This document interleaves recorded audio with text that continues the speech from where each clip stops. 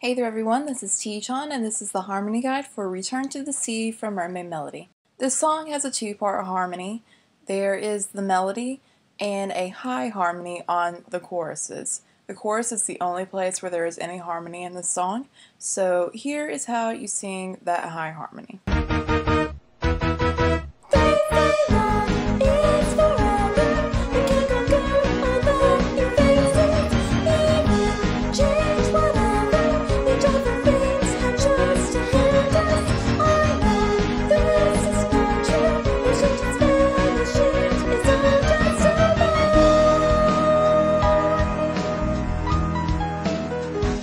As you can see, this high harmony is really, really high, so make sure you have somebody sing it that can sing really, really high.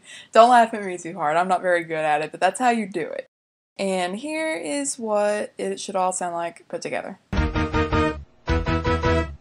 say love is forever and can conquer all that it faces, even change whatever each other faces chose to hand us. I know this is not true. Love should just vanish. It is all just a lie.